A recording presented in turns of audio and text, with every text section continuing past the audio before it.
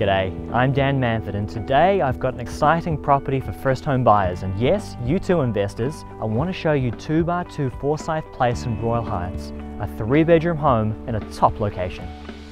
Set above the road and on a popular cul-de-sac, this property is surrounded by quality houses in a family friendly neighbourhood. Built in the 1970s, this approximately 150 square metre home has been renovated for modern appeal.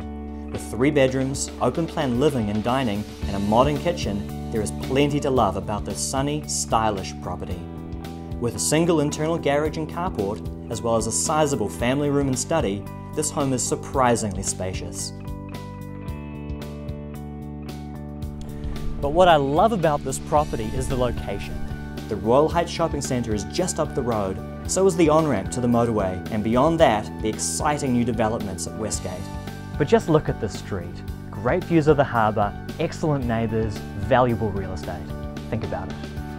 If you're looking for an affordable home that could be the perfect entry into Royal Heights, then this is the house for you.